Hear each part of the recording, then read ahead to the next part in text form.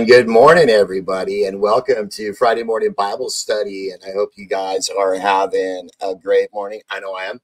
You know, um, I woke up really early, man. I just I was tossing and turning, man, and and I just was like, I couldn't go back to sleep. I was just like, man, this sucks, man. And and so I just got up and and uh, was listening to, um, you know, the the word, you know, and and, and I got into prayer and you know, so uh, yeah, it was just kind of a weird morning, but uh, praise God, right? So, guys, we're going to be talking about the majesty of the throne today. We're going to be in Revelation chapter uh, 4, verses 1 through 11. So, if you guys want to open up your Bibles to that, that would be awesome. So, uh, you know, I, I'm delighted for you guys to join us today. You know, whether you're, you know, tuning in on YouTube or listening to you know, the Tactical Bible Guy or the Made Free Bible Churches podcasting platforms. I'm excited to connect with you guys, man. I mean, you know, as, as we dive into the depths of God's word. Amen. So let's pray. Heavenly Father, we just come before you this morning, hearts full of gratitude and anticipation. Thank you for this new day and for the opportunity, you know, uh, uh, uh, to dive into your word, you know, and study your word.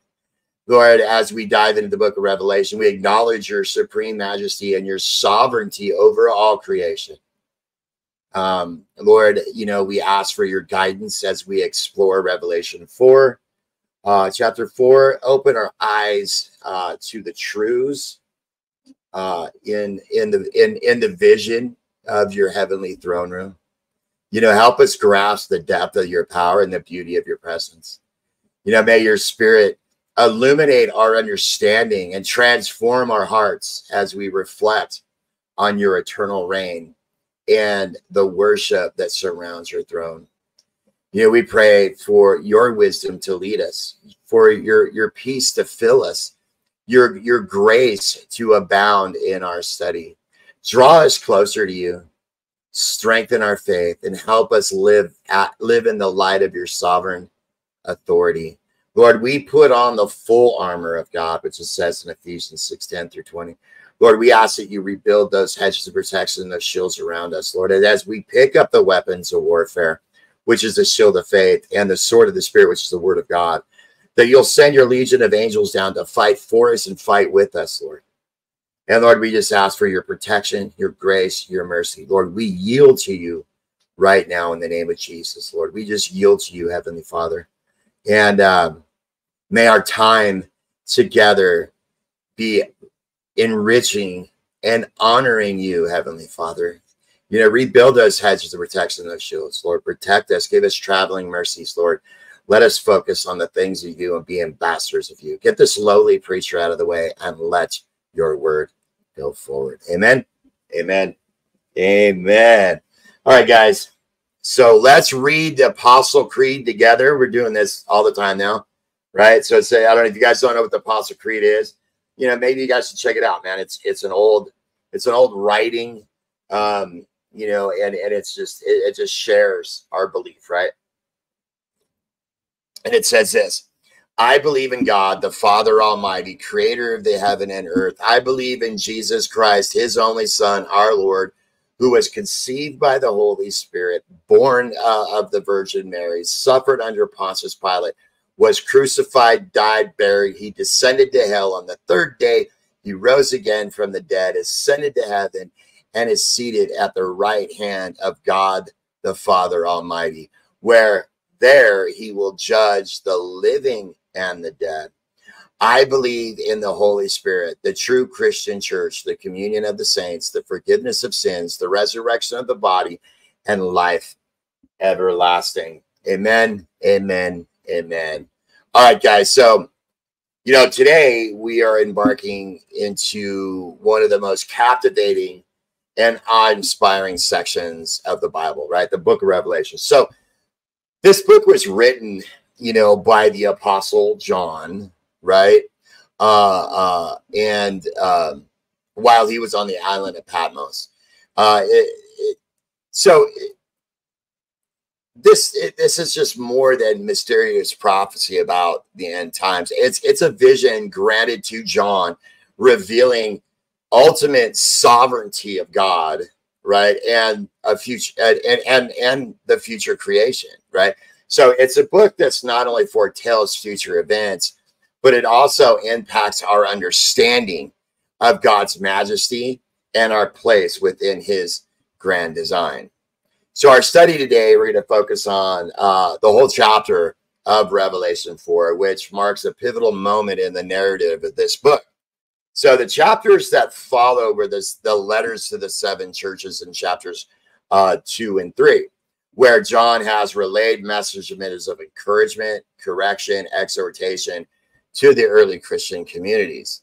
So these letters, you know, really, this, these letters, excuse me, these letters uh, address the spiritual state of the churches and their need to remain faithful, you know, amid their, their, their trials and temptations. So Revelation 4, chapter 4, you know, uh, takes us from an earthly context uh, of the churches into a vision of the heavenly throne room, right? So this chapter serves as a transit transition, you know, from the message to the churches to the unfolding vision of what is to come. So it introduces us you know, to a breathtaking scene of God's throne in heaven and sets the stage for a, a dramatic events that will follow, you know, in the rest of the book, right? So in this vision, John is invited to come up here, right? Uh, and witness what make uh, what must take place after the letter uh, to the churches, and this invitation signifies um, a shift from earthly to heavenly perspective. You know, uh, allowing John uh, uh, uh, uh and us, right, to the ultimate glimpse uh, of, of, of the ultimate reality of God's reign and celestial worship that surrounds him, right? So let me try to, there we go. There we go. All right. So the imagery presented in this chapter uh, is rich and profound, right? Providing a glimpse into the majesty and splendor of God's throne in the heavenly realm. So, understanding the majesty and sovereignty of God as revealed in chapter four is crucial for our faith journey, right? This chapter helps us grasp the grandeur of God's presence and the centrality of his throne in the universe, right? it, you know, it's a reminder that despite the chaos and uncertainty we might face in our earthly lives, right? God's God is on his throne, right? Sovereign and supreme. Right? This vision calls us to acknowledge God's ultimate authority and to worship him with the reverence and awe that he deserves. So as we explore Revelation 4, you know, we will reflect on how this vision of God's throne room impacts our lives as believers. You know, we'll we will consider the implication of God's sovereignty, right, over our daily lives, right, um, and and and our walk with Him, and and how this vision can inspire us to live with a greater sense of purpose and devotion. Um, the chapter not only reveals God's eternal reign, but also invites us to a deeper understanding of our own relationship with Him. So, as we dive into Revelation for today, let's open our hearts and minds uh, to the truths that it holds and allow this vision of God's throne room deepen our awe and reverence for the one who reigns forever, right? So uh, may this study enrich you and draw, uh, uh, enrich your faith and, and draw you closer to God, who is both majestic and intimately involved in our lives. Amen. So I want to thank you guys for joining us. Um, I mean, it's this, this is really, really cool. You know what I mean? Um, if you guys never read Revelation, we're going through it methodically, breaking it down. I'm doing a gang of study all day and stuff like that. So, guys, let's just read Revelation chapter one, uh, chapter four, verses one through 11. It says, It says this After this, I look and behold, a door standing open in heaven. And the first voice which I had heard speaking to me like a trumpet said, Come up here, and I will show you what must take place after this. At once, uh, I was in the spirit, and behold, the throne stood in uh, stood in heaven, with one seated on the throne, and he who sat there had an appearance of jasper and carnelian, and around his throne was a rainbow that had the appearance of emerald, and an emerald. Uh, around the throne were 24 thrones seated on the thrones were the 24 elders clothed in white garments and golden crowns on their heads. From, from the throne came flashes of lightnings and rum, rumble and perils of thunder. And before the throne were burning seven torches of fire, which are the seven spirits of God. And and before the throne there was a sea of glass like crystal around the throne on each side of the throne, four living creatures full of eyes in the front and behind. And the first living creature like a lion, and the second living creature like an ox, and the third living creature as the face of a man, and the fourth living creature like an eagle in flight. And the four living creatures, each of them with six wings, full of eyes around them and within, and day and night never cease to say, Holy, holy is the Lord God Almighty, who was, who is, uh, who was and is and is to come. And whenever the, the living creatures give uh, glory and honor and thanks to him who is seated on the throne, who lives forever and ever, the 24 elders would fall down before who is seated on the throne to worship him who lives forever and ever. They cast their crowns before them, saying, Worthy are you, the Lord our God, to receive glory and honor and power, for you created all things, and by your will they exist and were created. Amen. Wow. Imagine seeing that. That'd freak me out. It would you know, but but I, I you know I'm sure it freaked John out too. I mean, the, the scripture doesn't say it, but I'm sure that he was really, really, really startled. I would have been being up before the throne of God and looking at God and looking at everything around, and I I, I would have been tripping, not a tripping in a bad way, but I've been tripping. So let's get into it. Let's begin. So Revelation uh, 4 1, we encounter the moment which John receives a divine invitation after this, I look and behold a door standing open in heaven. And the first voice, which I had heard speaking to me like a trumpet, says, Come up here, and I will show you what must take place after this. So, this marks a significant transition in the book of Revelation, right? Up to this point, John was only recording messages from the seven churches, addressing their spiritual conditions, offering encouragement and correction right? Now, John is invited to shift his gaze from the earthly realm to the heavenly perspective, providing a glimpse into the divine and eternal realities that lie beyond our human experience. The open door in this passage symbolizes much more than a mere entryway, right? It represents the access to a deeper understanding of God's divine plan right? The imagery of, you know, the open door signifies that John is being granted unprecedented opportunity to witness the fullness of God's eternal purpose, right? It's a powerful visual metaphor uh, for uh, divine revelation, right? Suggesting that this open door, uh, uh, uh the mysteries of God, God's will and future of creation are, are being revealed, right? So the invitation of come up here emphasizes the transition from an earthly uh, viewpoint to a celestial one, right? Highlighting the contrast between uh, uh, between the limited, often troubled human perspective uh, and the expansive, sovereign view of God's heavenly throne.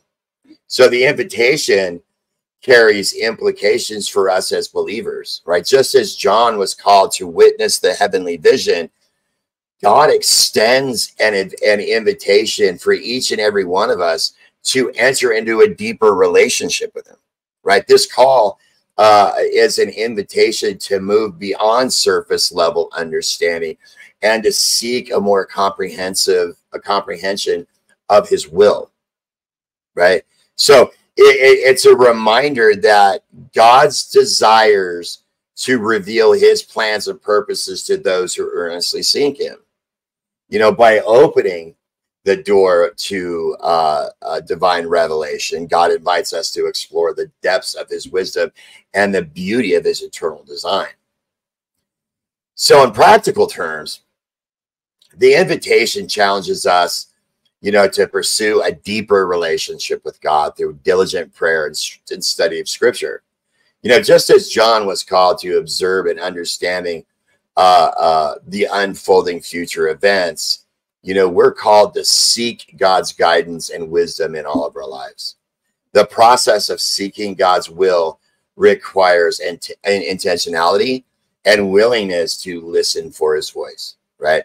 It's about opening our hearts and minds to the truth uh, he wishes to reveal, like allowing the Spirit to guide us into a fuller understanding of it and of his purpose. So I want to encourage you guys to embrace this divine invitation, you know, and, and foster a spirit of openness and receptivity to God's leading, right? You know, it, it involves creating spaces in our lives where we can hear God's voice above the noise and distractions of daily life. And when I say God's voice, I'm talking about getting involved in scripture, right? You know, uh, uh, personal study, right? Prayer, communal worship, right? You know, we are invited to step through the open door and engage more deeply with divine truths that God is revealing, right? So, Revelation 4 1 serves as a powerful reminder of God's desire to draw us deeper, uh, draw us into a deeper relationship with Him. The open door symbolizes the invitation, access, uh, uh, to the divine revelation and witness that's unfolding in his eternal plan. So, you know, let, let us, you know, as we reflect on this passage for a little bit, right? Let us be encouraged, guys, to seek a deeper understanding of God's will, embracing the invitation to explore the riches of his divine purposes. And, and may we be like John, you know, willing to step through the door, that open door, right? And experience the power of God's revelation in our lives. Amen. So let's start talking about verses two and three, right? So here, John provides a breathtaking description of his vision of the heavenly throne, right? And it says this uh, At once I saw the Spirit, and behold, a throne stood in heaven. The one seated on the throne and he who sat on the throne had the appearance of jasper and carnelian. And around the throne was a rainbow that had the appearance of an emerald. These verses offer a glimpse into the nature of god's reign and his majestic presence right you know the, the centrality of his throne in john's vision emphasizes the, the, the supreme authority uh, of god right? The throne represents, excuse me, I'm starting to hiccup again. Uh, the throne represents God's ultimate sovereignty and his governing power over all creation, right? It's not merely a symbol of authority, but the very seat of divine rule, right? Highlighting God's supreme as the supreme ruler of the universe, right? So this imagery underscores that everything in creation is subject to his will and that governance is both just and perfect right that the throne's uh, preeminence uh, uh, in this vision signifies that god's rule is central to the unfolding of all events both both in heaven and earth amen so the description of god's appearance you know, being at uh, being like Jasper or Carnelian further conveys, you know, his majesty and his purity, right? Jasper, uh, often clear or brilliant, signifies clarity and purity, reflecting God's holiness and perfection. Carnelian, carnelian is a fiery red hue, represents strength and beauty.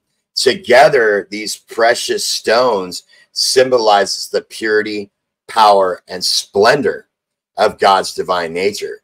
They suggest that God's presence is both radiant and awe inspiring, embodying his divine attributes in a way that transcends human understanding. The emerald rainbow encircling the throw adds another layer of meaning to the vision. Rainbows are often associated with God's covenant, right? As the Old Testament, uh, uh, when God set a rainbow in the sky, was a sign of His promise to Noah that He would never, uh, uh, uh, uh would never, you know, flood the, the world again, right? So the the emerald hue of the rainbow in John's vision signifies uh, only the enduring nature of God's promises, but also his mercy and faithfulness, right? So it serves as a reminder that God's covenant uh, with his people is eternal, unchanging, and providing uh, assurance and hope in his unfailing love and grace. So the application of this vision for us today is deeply significant right? Reflecting on the centrality of God's throne encourages us to recognize and submit to his authority, right? Uh, it, it reminds us that God is sovereign over every aspect of our lives and the world around us, right? You know, uh, uh, in times of uncertainty or difficulty, you know, it's it's crucial uh, uh, uh, to remember that God's throne represents his just rule and his justice and mercy, right? His authority is perfect, right? Uh, uh, uh, and his judgments are righteous, offering comfort and, and security for those who trust in him. You know, so I want to I want to encourage you guys to trust God's sovereignty, right? You know, uh, uh, uh, involves and and that involves helping you guys to understand his unchanging uh, nature that provides a solid foundation into the tumult and it often it, it, tumultuous in this tumultuous world. So the vision of the throne reminds us uh, of God that God is not distant or detached, but ultimately involved in the governance of the universe. Right, His authority endures that everything unfolds as according to His perfect plan, and when we might not fully comprehend it, by trusting in God's sovereign rule, we find peace and reassurance knowing that our lives are held securely in his hands. Right? So, Revelation verses 2 and 3 offers a depiction of God's throne, emphasizing his supreme authority and majesty and faithfulness. The imagery of, of Jasper and uh, Carnelian, which reflects his, his purity, power, uh, while the emerald uh, signifies his his eternal covenant and mercy, right? So, you know, guys, let, let us be reminded of the significance of God's sovereignty and find comfort in his unchanging nature, you know, and and, and trust in in in in in his divine rule and and to seek solace in the knowledge that he governs all things in his perfect justice right? So let's talk about uh, verses four through eight, right? So here John provides a vivid depiction of the worship that takes place around the throne of heaven, right? He writes, Around the throne were 24 thrones, and seated on the thrones were 24 elders clothed in white garments with golden crowns on their head. From from the throne came flashes of lightning and rumbles and peals of thunder and before the throne were seven burning torches of fires, which are the seven spirits of God. And before the throne, uh, there was, uh, uh, as it was, the, where where a sea of glass like crystal.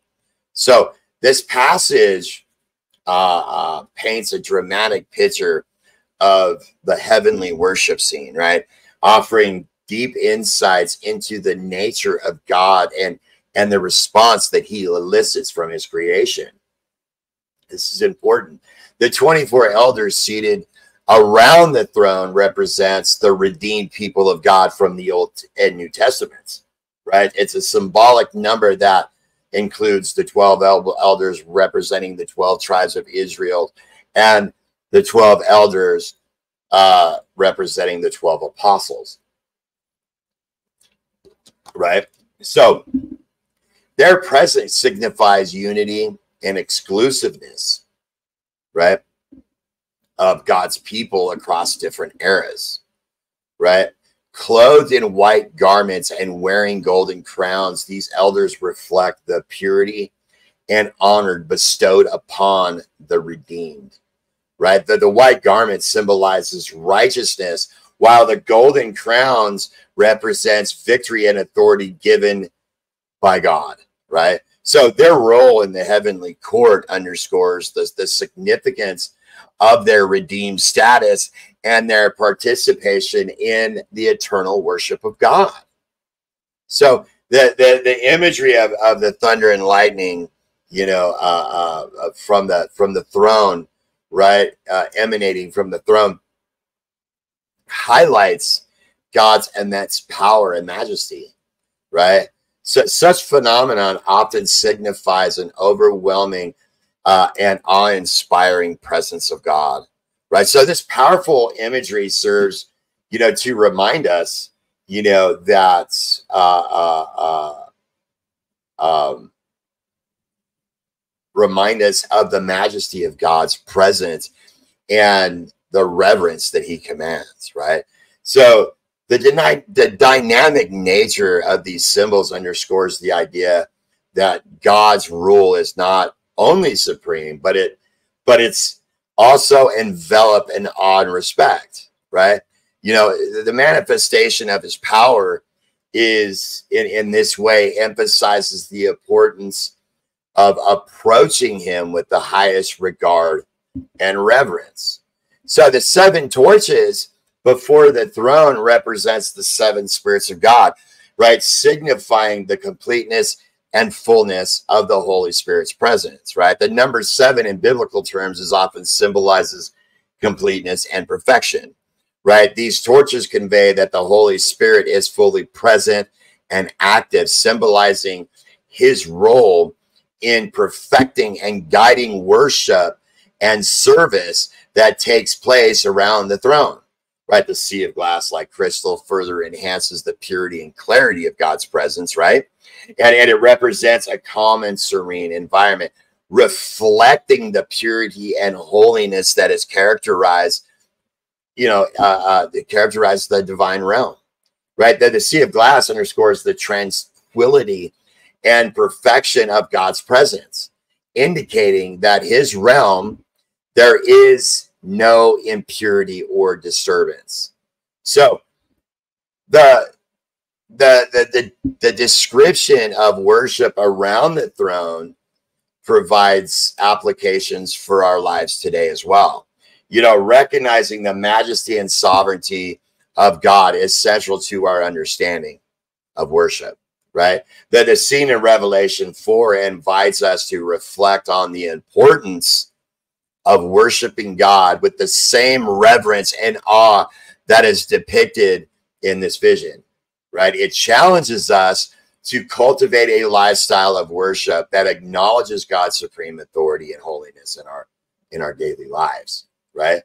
Worship is not just a Sunday activity, but a continuous expression of our relationship with God, reflecting his grandeur in every aspect of our lives right? So by emphasizing the significance of worship in recognizing God's majesty, right? So, you know, uh, we, we are encouraged, you know, to approach God with humility and reverence, right? The heavenly worship scene calls us to consider how we honor God in our daily routines and interactions, right? It challenges us to reflect his holiness and grace in our actions, words, and attitudes, just as the 24 elders and the heavenly beings surrounded the throne, right? Uh, uh, uh, uh is in continual worship. We're invited to live lives that consistently glorify and honor God. You know, um, so sorry, I get the hiccups. Yeah, you know. Uh, uh, so Revelation chapter four, verses four and eight offers a powerful description of the worship around God's throne, highlighting the unity of God's people, the awe-inspiring nature of his power, that the completeness of his presence. Uh, and, and, as we contemplate this vision, let us be inspired to cultivate a lifestyle of worship and that reflects the majesty and reverence due to our sovereign God, right? And, and may our daily lives be marked by an attitude of awe and devotion, acknowledging his holiness, right? Of the one who reigns eternally, right? So now we're going to look at you know, uh, verses nine through 11, which, which, which provides a glimpse into the worship and praise that continually emanates from the heavenly realm, right? The passage reads, and wherever the living creatures give glory and honor and thanks to him, he who is seated on the throne, who lives forever and ever, the 24 elders fall down before him who is seated on the throne and worship him who lives forever and ever.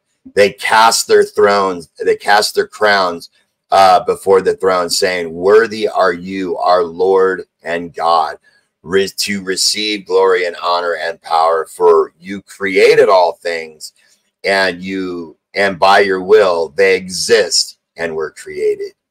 So this description reveals the centrality of worship in the heavenly realms and highlights uh, uh, the response of both living creatures and the elders to God's majesty and sovereignty. So the continuous worship of living creatures uh, and the 24 elders underscores the, the, the inherent worthiness of God. Right, the living creatures described early and earlier verses were full of eyes and con- and constantly praising God right, represents the unceasing acknowledgement of God's glory and power, right? Their praise is not mere formality, but a fundamental aspect of their existence, reflecting the boundless majesty of the one who is seated on the throne, right? Their perpetual act of giving glory and honor and thanks to God emphasizes that worship is a natural and essential response to his divine nature and his eternal reign. The 24 elders, on the other hand, demonstrates their, their reverence by falling down before the throne and casting their crowns before God. So this act of casting uh, uh, crowns is symbolic of the recognition that all honor and glory ultimately belong to God, right? The crowns representing victory and authority are placed before God as a sign of ultimate suspicion, uh, submission and acknowledgement that every achievement and honor is derived from Him. So, this gesture highlights that despite their esteemed positions, the elders recognize that their authority and achievements are significant compared or insignificant compared to the supremacy of God. Right? It's it's it's an expression of humility and reverence, illustrating that all glory is due to God alone. So the elder's declaration, worthy are you, our God, our Lord and God, receive uh, glory and honor and power, for you created all things, and by you by your will, they exist and were created. So this captures the core reason for God's worthiness, right? Uh, uh, the praise ascribes to God that the attributes of his glory, honor, and power, acknowledging him as the creator of all things. This recognition of God as the creator emphasizes his supreme authority and the fact that everything exists by his will, right? So it's a reminder that God's role as creator is is foundational to his worthiness of worship and praise. Everything in existence finds its origin and purpose in him, underscoring his sovereignty over all creation. Right? Now, a lot of people out there don't really believe, they, they believe in partial sovereignty. They believe that human will's got to react with that. Sorry. Some human will does that, but you know, I believe and I'm a staunch believer. And if you guys want to check out, I wrote a blog about this too, man. The once saved, always saved. So if you guys go to the tactical uh, Bible guy.com website and go to the blog, you will see that I have several blog posts there. You know, one is is to, you know, how should we vote as Christians in the U.S. elections? You know, you have some false teachings on there, some biblical pastors on there, and then you have once uh, once saved, always saved, and you'll see that that was like maybe the I think that's the the third uh, or fourth blog that I wrote. So go check that out, man, and, and it's scriptural. You know what I mean? People are like, man, I believe you can lose your salvation. Well, if you believe that you can lose your salvation, you don't have a proper understanding of what salvation is and how it the, the how it is eternal that you can never lose it. Right? So uh, it just gives you your your it's just you know it's just a part of it's just a, a part of immaturity, right? So let's get back this, this focus. I go on these little tangents, man. But let, let's get back to this. Um, so in application, the passage calls us to recognize God's inerrant worthiness and reflect uh, on our role as stewards of His grace. Right, just as the as just as the having heavenly beings acknowledge God's supreme authority and honored Him with their worship, we are called to live in a manner that honors God in every aspect of our lives. This means recognizing that our achievements, authority, and blessings come from God and are ultimately meant to glorify Him. The act of casting crowns before a God serves as a model for us to offer our lives and efforts in service to Him, acknowledging that all we have is a gift from His hand.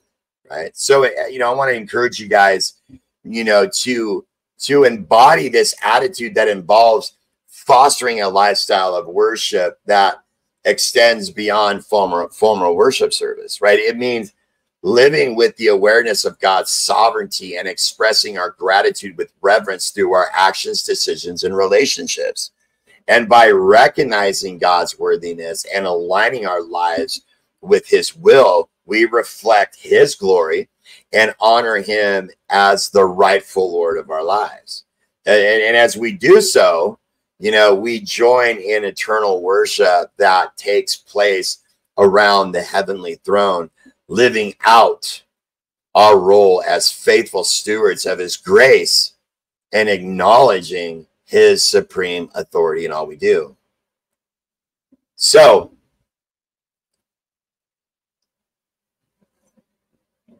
in Revelation uh, 4, verses 9 through 11, you know, uh, uh, uh offers, you know, uh, a vivid portrayal of the unceasing worship and praise that's that's characterized in their in in in in their in their in their in the realm. Um, the continuous worship of living creatures, you know, uh, and the act of casting crowns before the, high, that you know, and, and, it does, man. So, um, so, in conclusion of our our our exploration of of Revelation four, has unveiled a vision of God's throne and heavenly and heavenly worship that surrounds it. Right? We we've seen John's awe-inspiring glimpse into the heavenly realm, right? Where where the centrality of God's throne underscores his supreme authority and reign over all creation. The depiction of the throne uh, adorned with precious stones and encircled with a radiant rainbow, speaks of the majesty, purity, and faithfulness of God. Right, surrounding his divine throne are continuous worships of living creatures, 24 elders, highlights the response of all creation uh, to God's uh, unrivaled greatness. So the heavenly worship scene reveals key aspects of God's nature, right? We see the centrality of God's throne, symbolizes his ultimate authority and perfect government and eternal kingdom. You know, um, living creatures continually offer glory, honor, and thanks to God, emphasizing his worthiness and his, his inerrant response uh, of worship that his majesty elicits right? The act of casting crowns before thrones symbolizes the honor and achievement and ultimately belong to God, reinforcing the idea that our success and authority are derived from his grace and sovereignty, right? So these truths have significant imp- implications in our lives as believers, right? Recognizing God's majesty and sovereignty invites us to reflect deeply, deeply uh, on our own response to Him, right? you know just as as the heavenly beings offer their worship and submission we are called to approach god with reverence and awe right our worship should extend beyond the confines of of, of formal settings and and and permeate every aspect of our lives. It, it is a call to to live in a manner that honors god's supreme authority acknowledging that we have and all we have acknowledging that all we have and all we are is a result of his divine will. Right? So as we conclude i invite each and every every one of you guys right to take a moment and to reflect on the grandeur of god's throne and continuous worship that takes place in his heavenly presence. And consider how this vision of God's majesty can influence uh, uh, our personal walk with him right? Are there areas in our lives where where where where we need to you know where you need to to to recognize his sovereignty more fully. How can you deepen your relationship with god through worship and seek his guidance earnestly? So let's commit of, of fostering a lifestyle of worship that reflects our understanding of God's greatness, right? To, to, to seek to, to honor him in every decision, relationship, and endeavor, to embrace the opportunity to worship him, not only through our words, but through our actions, demonstrating his glory and grace in all that we do. And by doing so, we align our life with the eternal worship that takes place around God's throne, right? Beca- uh, becoming a living testament to his majesty and sovereignty. So, in closing, may the vision of God's throne and, and worship surrounding, you know, it, may, may it, uh, uh, it may it inspire us to live with a renewed sense of reverence and devotion you know, let us be continually reminded of God's ultimate authority and grace, striving to reflect his holiness and to seek his guidance in every facet of our lives. And may our hearts be ever attuned to the call of worship and, and our lives bear witness to the glory of the one who reigns forever and ever and ever. So, guys, before I let you go, man, if you guys haven't checked it out, you know, go to the Tactical Bible Guy uh, and Made Free Bible Church websites, right, at madefreechurch.org and tacticalbibleguy.com, right?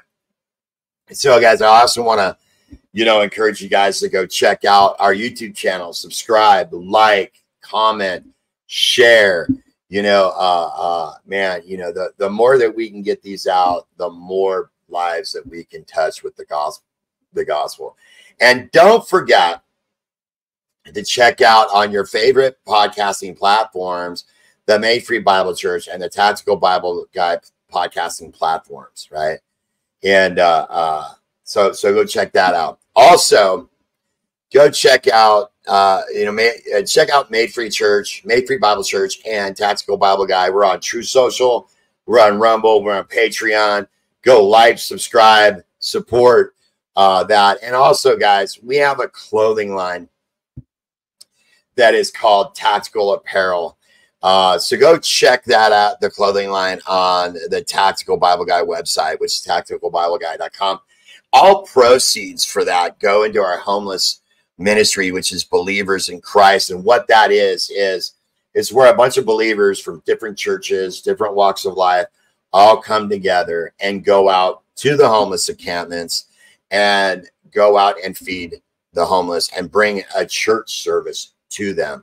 And you know, it's been so receptive, and we've seen people give their lives over to Christ and and and get off the street and stuff like that. They got off drugs and you know, um, at one one lady, uh, she was so distraught. She goes, she wanted to learn. She always grabbed her Bible because we were there every Sunday, right?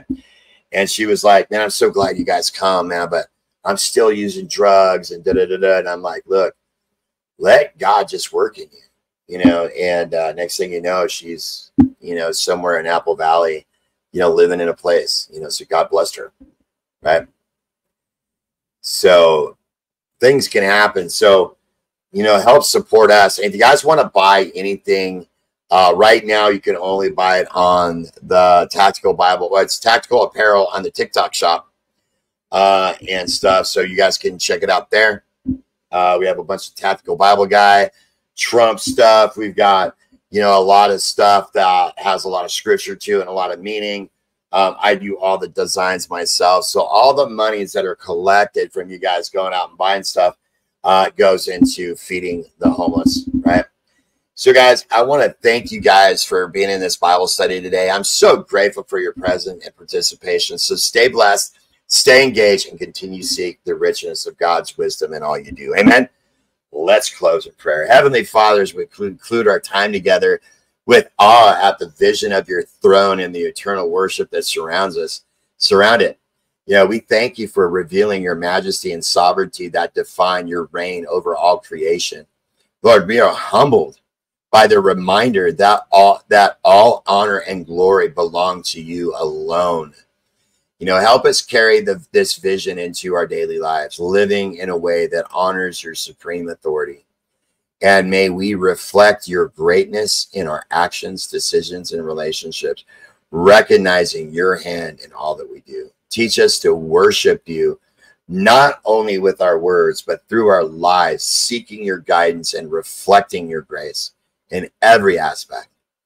Grant us the strength to deepen our relationship with you, embracing a lifestyle of reverence and devotion. May our hearts be continually attuned to your will, and may we always seek to honor you in all things that we do. Mm.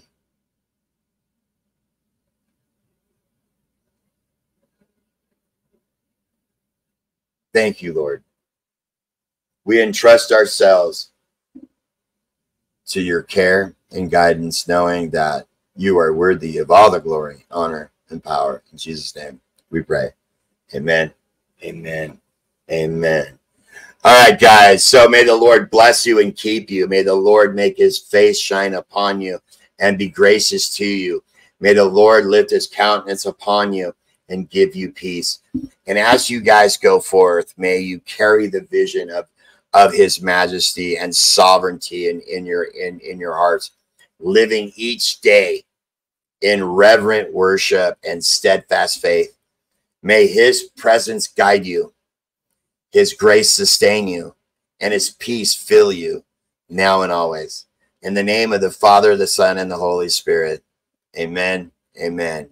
Go in peace. God bless.